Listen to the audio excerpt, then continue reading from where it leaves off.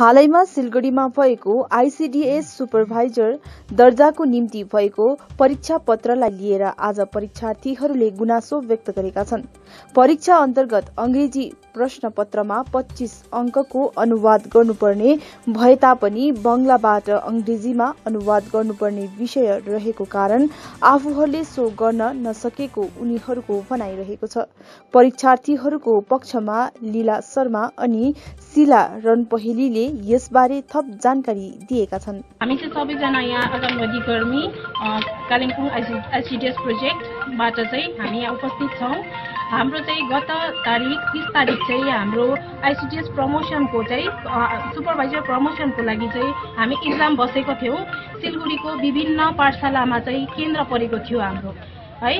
त्यहाँ विभिन्न पाठशालामा हाम्रो एउटा जुन सब्जेक्टमा जुन इङ्ग्लिस पेपरमा हुनुपर्ने जुन क्वेसन थियो त्यसमा चाहिँ हाम्रो पच्चिस मार्क्सको चाहिँ आउनुपर्ने जुन हाम्रो ट्रान्सलेसन गर्नुपर्ने। इङ्ग्लि त्यो बङ्गलामा भएको कारणले चाहिँ हामीले चाहिँ गर्न सकेनौँ।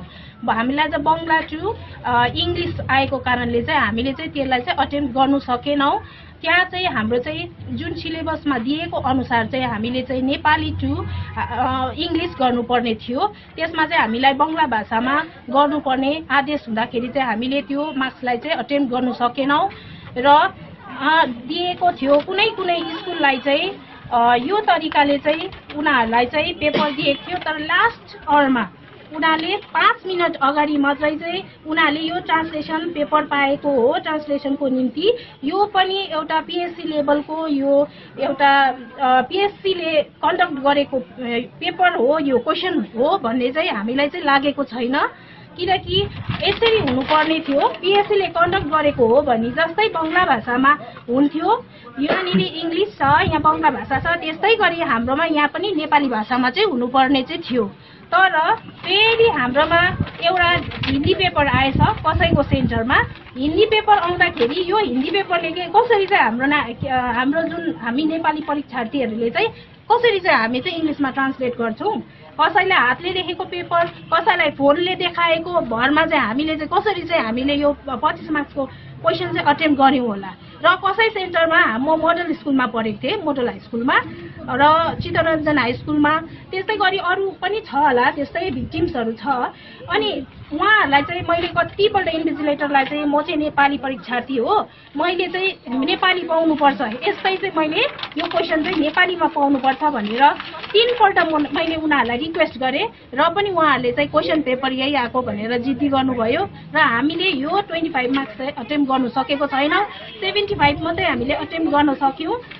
यसमा चाहिँ हाम्रो एउटा नेपाली भाषी भाषीहरूमाथि लागेको एउटा अत्याचार हो यो शोषण हो हामी यो भन्छौँ। आज हामीलाई भयो मात्रै होइन यो भविष्यमा हाम्रो नानीहरूलाई जेनेरेसनलाई यो कन्टिन्यू भएर जान्छ। यो अप्रेसिभ चाहिँ हामी हामीमाथि चाहिँ सधैँ नै हुन्छ भन्ने लागेको छ। र हामीले यो ट्वेन्टी फाइभ मार्क्स पाएको ट्वेन्टी फाइभ मार्क्स चाहिँ कट भएको चाहिँ हामीले क्षतिपूर्ति चाहिँ र न्याय चाहिँ हामीले सम्बन्धित विभागबाट हुन्छ कि पिएचसीको बोर्ड अफ मेम्बरहरूले हुन्छ कि यसलाई चाहिँ छानबिन गरेर हाम्रो यो मार्क्स चाहिँ पाएको हुनुपर्छ भनेर चाहिँ हामी ब्लक टू ब्लक वानका सम्पूर्ण हामी आँगनवाडी कर्मी चाहिँ घोर विरोध गर्छौँ र न्याय चाहन्छौँ। अनि यसै गरी block two block three Darjeeling Kurseong जति पनि छ उहाँहरूले पनि यही समस्या भोग्नु परे भएको छ र उहाँहरूको पनि एउटा युनियनमा यही मिटिङ हुँदैछ कि हामीले चाहिँ हाम्रो समस्या चाहिँ यसरी नै हामी हाम्रो समस्या दिनदिनै जटिल भयो भने चाहिँ हामी चाहिँ हाम्रो ठाउँमा बाँच्ने कसरी भोलिको दिनमा त्यो भएर हामीले आइसिटिएसको प्रमोसनको एक्जाम कति वर्षौँ बाद बिस वर्ष बाद पायौँ। तरै पनि यो हेलचाक्राईमा चाहिँ हामीले आज हाम्रो इङ्ग्लिसको क्वेसन पेपर राम्रोसँग अटेम्प गर्नु सकेनौँ। है हामीलाई यो अब बङ्गलामा देख्ने साथ चाहिँ हामी चाहिँ एक प्रकारको नर्भस भयौँ है। हाम्रोमा एउटा नकारात्मक प्रभाव परेर हामीले यो क्वेसन डल्लै नै गर्नु सकेनौँ। यसो भयो। अब कसैले कसको तर्फबाट कता राखे कसैले कसको तर्फबाट कता राखे तर हाम्रो प्रब्लम चाहिँ सल्युसन हुनु पऱ्यो नि त होइन? सल्भ हुनु पऱ्यो अनि मैले उहाँहरूलाई राखेँ। अनि आज बिहान चाहिँ हाम्रोबाट हाम्रो कोअर्डिनेटर विदु राईज्यूकोबाट फोन आयो। बिहान है हामी यो समस्यालाई तपाईँको सबै भोइस म्यासेज भिडियो क्लिपहरू एसके लाइभ जुन मिडिया प्रसारण आयो यसको सबै नै हामीले चाहिँ त पठाइदिएको छौँ अध्यक्षलाई। भनेर चाहिँ उहाँले बिहान आश्वासन दिनुभयो अनि गायत्री गुरामाकोबाट पनि फोन आयो। बहिनी यसको लागि पानिक नहुनुहोस् हामी हेल्प गर्छौँ भन्ने चाहिँ आयो। तर त्यो समय जब एसके लाइभ आयो हाम्रोसँग तर मिडिया आइसकेपछि त्यो कुरा त सेयर भएर थुप्रो गयो नि। तर यो दुई दिनभित्रमा चाहिँ हामीलाई चाहिँ सोधखोज गर्ने न नेपाली विभागका कुनै पनि यो हाम्रो भाषामाथि हेलचाक्राइ भएको हो। अनि न कुनै नेपाली भाषीहरू आए न त हामीलाई कुनै पार्टी डिपार्टमेन्ट या चाहे डिपार्टमेन्टले त हामीलाई इनिसिएटिभ लिएको हो। हाम्रो सिजिपिओ सरले त हामीलाई यो कुरामा लिएर नै हामीलाई हामी फरवर्ड गर्छौँ भनेर हामीलाई त सान्त्वना चाहिँ दिनुभयो र उहाँले गर्नु पनि हुँदैछ हाम्रो प्रोसेस है। तर हाम्रो चाहिँ यो चाहिँ एउटा भाषामाथि भएको एउटा यो आन्दोलन जस्तै हो। भाषामाथि भएको अत्याचार हो। त्यही कारण चाहिँ यो हामी सर्व सबैजनाले चाहिँ उठाउनु पर्ने थियो भन्ने मलाई लाग्छ। तर त्यो दुई दिनभित्रमा हामीले जुन दुःख भोग्यौँ यसको लागि चाहिँ उहाँहरूले चाहिँ खोज्दै आउनु चाहिँ कोही पनि भएन जस्तो लाग्छ मलाई। मेरो गुनासो चाहिँ त्यही छ। जुन चाहिँ त्यो हाम्रो पच्चिस मार्क्सको चाहिँ इङ्ग्लिस सब्जेक्टमा चाहिँ हाम्रो जुन चाहिँ ट्रान्सलेसन भर्जन जुन चाहिँ छ त्यो चाहिँ बङ्गलामा आयो। फर्स्टमा बङ्गलामा हामीले देख्दाखेरि अब हामीले प्रश्न अब उनीहरूलाई सोध्नु त पऱ्यो इन्भिजिलेटरलाई त सोध्नु पऱ्यो है। अन्त सोद्धाखेरि चाहिँ अब छैन कम्पलसरी हो यही हो भन्दै भन्यो कि। अनि मे हाम्रो अगाडि उनीहरू एउटा हाम्रो रुममा हिन्दी भाषी पनि थियो सन्थाली भाषी पनि थियो। उनीहरूले आफ्नो आफ्नो भाषामा पाएको छ नि त यो जुन चाहिँ यो ट्रान्सलेसन जुन चाहिँ छ बङ्गलामा जुन चाहिँ छ यो सन्थाली भाषामा पनि आएको छ उनीहरूलाई उर्दू भाषामा पनि आएको छ हिन्दी भाषामा पनि उनीहरूलाई यही भर्जन छ। तर हाम्रो नेपालीमा मात्रै चाहिँ किन छैन? किन छैन त्यो चाहिँ हाम्रो प्रश्न चिन्ह हो नि त। अब त्यो त हाम्रो भा भाषामा नै अतिक्रमण भएको है अब हाम्रो त्यो के अरे संविधानले दिएको अधिकार पनि यहाँ हनन सानो सानो चिजमा हामीलाई हनन हुँदैछ हाम्रो होइन? अब यो हेर्नुहोस् पिएचडी लेभलको अब यो रविन्द्रनाथ टेबलको पाँच मिनट अगाडि ल्याएर हामीलाई दि दिनुभयो उहाँहरूले। अत्तालि नै दिनुभयो। पाँच मिनटमा अब हामी त्यस्तो हतार परेको बेलामा पच्चिस मार्क्सको हामीले कसरी गर्नु? गर्न त गरेको छौँ तर के हामीलाई यो योसँग रिलेटेड छ र यो? हामीले यो क्वेसनसँग रिलेटेड त के हामीले यसमा पच्चिस मार्क्स पाउँछौँ? मेरो चाहिँ त्यही छ हाम्रो चाहिँ प्रश्न।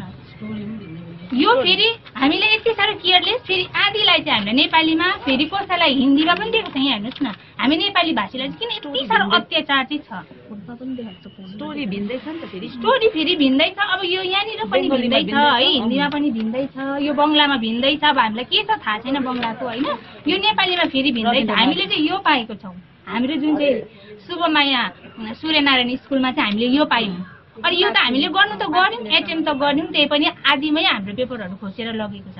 अब पाँच मिनट हामी पच्चिस मार्क्सको चाहिँ कसरी गर्नु? यो चाहिँ अलिकति भाषामाथि अति अतिक्रमण पनि भएको छ है। अब सबै सम्बन्धित विभा- विभागहरूले चाहिँ अलिकति बोलिदिनु पर्ने हो। नभए चाहिँ हाम्रो नै यस्तो अवस्था छ हामीले यत्रो बाह्र तेह्र वर्ष हामीले काम गरेर हामीले एउटा प्रमोसनको इक्जाम बस्दा हामीलाई यो खालको अवहेलना हुँदैछ भने फ्युचरमा चाहिँ हाम्रो नानीहरूको चाहिँ भविष्यमा एकदमै अन्धकार लाग्दैछ हामीलाई। त्यही भनेर हामीलाई चाहिँ न्याय हुनु पर्यो कि त यसमा हामीलाई अब हामीले गरेकोमा पच्चिस मार्क्स दियो दियो हामीलाई भने पनि नगर्नेहरूले फेरि के गर्छ?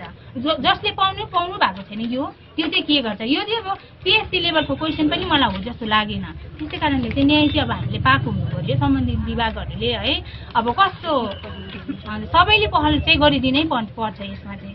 किनभने हामीले साह्रै बेसी अन्याय र अत्याचारै भएको छ भाषामाथि हामी नेपाली भाषीमा।